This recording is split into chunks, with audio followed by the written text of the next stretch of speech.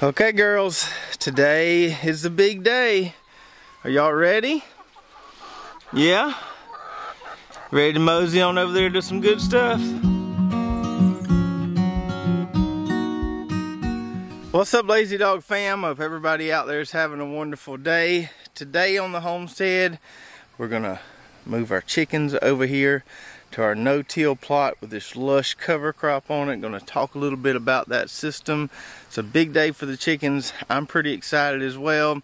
And then later on in the video, we're gonna talk about our succession plan with watermelons. I mentioned that a little bit on our garden tour video, our last video we had. I'll talk a little bit more about that today and my plans going forward for that. So here's where the chickens will be grazing soon. This is our oldest no-till plot, about two years into this no-till system here of layering compost on top of compost.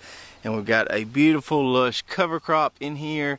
And this is probably, I'd say, two weeks old or so. So once it germinates, it gets up growing really, really fast. So we've got two different cover crops in here. We have this forage sorghum. You can see right there the leaves kind of look like corn leaves, not quite as wide.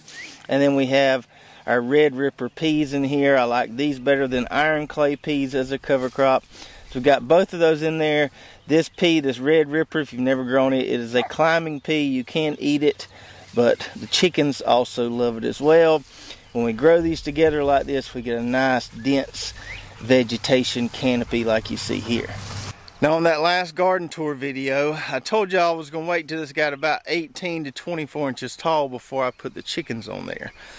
And then I was looking at it today and I got to thinking, well as fast as this stuff is growing, and because we'll be moving the chickens around via the chicken tractor, meaning they won't eat it all at one time, I need to go ahead and put them on it now because by the time they make it from one side of the plot to the other, this stuff might get too tall for me to effectively maneuver the chicken tractor around there. So we need to go ahead and get them started on it because the other side of it could be three or four foot tall by the time they make it over that way. And it looks like we've got an extra chicken in the pen there. What's this chicken's name? He's a good bit bigger than the rest of them. you having fun petting the chickens? These hens are so sweet. I really like these breeds we have here. They're really docile and easy to pet and just uh, it's fun for the kids to get in there and play with them too. So before we make the big move, we need to get the eggs out of here. Probably need to put them some more bedding in here, refresh their bedding a little bit. Looks like it's running out. We got what, five eggs today? Yeah. That's pretty standard. Some days we get six. Usually we always get five. Or four. Or four. I think it depends on what time we're picking them. Sometimes I'll come in here late in the afternoon, there'll be one sitting. You see some of them are lighter, some of them are darker. We got three or four different breeds in there, so kind of a nice little montage of colors. So we're gonna take our little bedding pan out of here. Slides right out the back, just like that.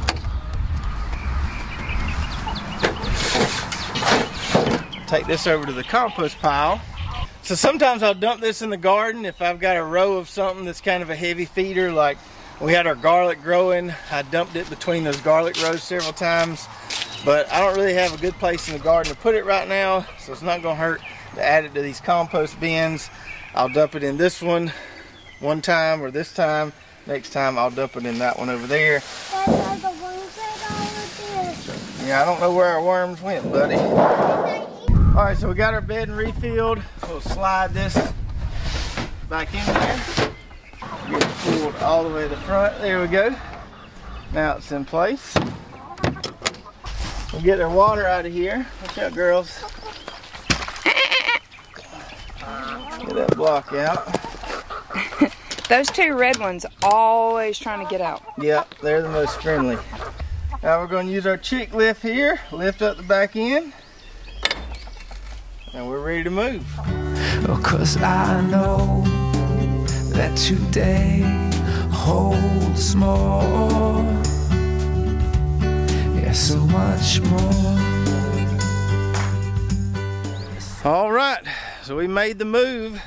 Pretty easy. It's a lot easier to drag that thing over grass than it is soil. So we just took it easy, slowly bumped it along. We got the girls in here now. I put this as close to those leeks as I could. And as you can see, they're in there grazing away already.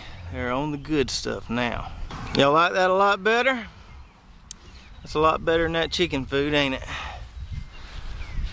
Look at them. They're happy as they can be. Honey, what were you saying about them needing some dirt to brush up on their feathers? They like to take those dust baths. So they liked it when they were over there in that dirty spot. I kept seeing them like sunbathing, like laying and getting their feathers all dusty. So they'll like this a little better than being so. on the grass because Yeah. they can uh, Yeah. they can move that dirt around and I think it's crazy how quickly you've trained them. Like how they know to sort of, like they'll walk with it. And there's one really smart one who jumps on the ramp and rides it the whole way.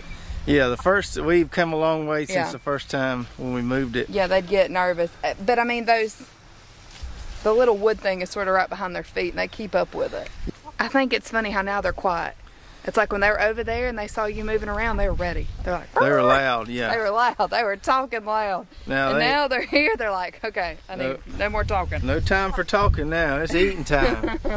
and some of this cover crop will get trampled a little bit as we come in here, change their water, that kind of stuff. But from my experiences, this sorghum sudan grass is pretty resilient and it should pop back up. And just like we did with that clover back in the fall and winter, my plan here is to move these guys every day and not give them any chicken food. I'm going to be interested to see if our egg production falls off any by not giving them any chicken food. They've been eating a lot of chicken food lately since we've been bumping them around on the grass. But now they got plenty to eat here. We're to let them forage all this stuff. They should be able to clean up what's underneath the chicken tractor in just one day. We'll move them every day, put them on fresh stuff to eat, and we'll just see how the egg production goes. If the egg production just drops off drastically, I will start supplementing a little chicken feed. If not, we'll just keep doing what we're doing. And like I said earlier, while it is probably a little too early to be putting them on this cover crop when it's this tall, it'll take them, I don't know, three or four days to make it to the end of this row here. And by the time they get way over there, this stuff's gonna be pretty tall. So we had to go ahead and get them started on it. Because if it gets really, really tall, we're not gonna be able to move that chicken tractor through there very easily. I'd like to keep this somewhat manageable. And I'm hoping that leaving them on it one day like we're planning to do it'll grow back nicely and we can rotate them around this plot two maybe even three times. So now that the chickens are settled in their new spot let's slide on over here to where some of our flowers are. Miss brooklyn wants to cut her a little bit and to show y'all a little trick here about how to keep these zinnias from getting too top heavy and falling over. What's the trick?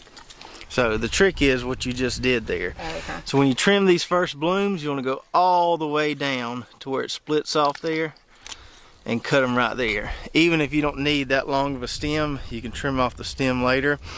But you want to cut them all the way back with that first bloom and that'll help make the plants more bushy as opposed to getting real top heavy so they won't blow over by the wind. Now we didn't know which colors we were going to get here because we planted a mix and we just got a few plants here, probably 10 plants. But it looks like we've got a good mix of colors. Orange, red, purple, yellow, even got white in here. And while we're out here, might as well get some of these giant marigolds here. So hold up the stem on that one. So that's why we like these giant ones because they got a longer stem. You can put them in a And vase. thick. Like the little marigolds, it's, it's so thin it'll break. Oh yeah, these hold up a lot better, don't they?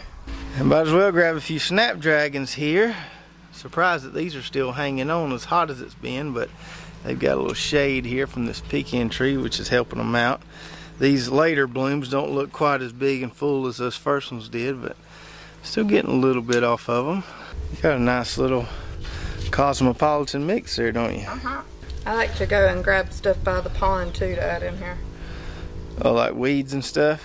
Yeah, you can't tell they're weeds though when you mix them with flowers. Oh, that's true. It looks very, it looks expensive then. Might have to change the name to Lazy Cat Farm. Tiger, you on rat patrol or you just chilling in the shade? There's lazy cat number two sleeping on the job. Chloe, you ain't gonna kill any rats laying there like that on your back. Chloe. She is out. Wake up. And now, as promised, let's talk a little bit more about our watermelon plan here. Now, Titus is inside taking a nap right now, but if he wasn't, he would be out here asking me when these watermelons are going to be ready. He asks me every single day when are we going to have a watermelon ready. I'm ready to try one, but he's especially ready to try one.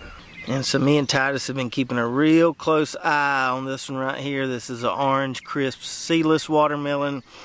That's not near as big as I think it will eventually get. I need to look up and see what the maturity size is on these. But if we look right here, it's kind of shaded. I don't know if you can see.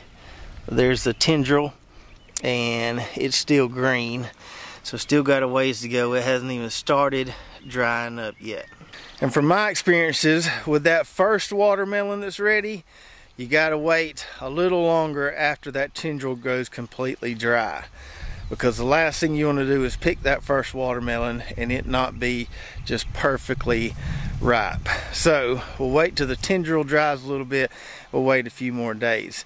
That's not the case with the other watermelons because usually we don't find those in there the day the tendril goes completely dry. Usually when we find them in the air, that tendril's been dry for a few days and they're pretty much good and ripe. So we have to be cautious. We can't harvest this one too early.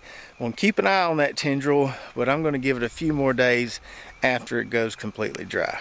And so this is our first time growing no-till watermelons. We converted this plot to no-till back last fall had some issues getting the transplants up and going, but the ones that made it are looking really good.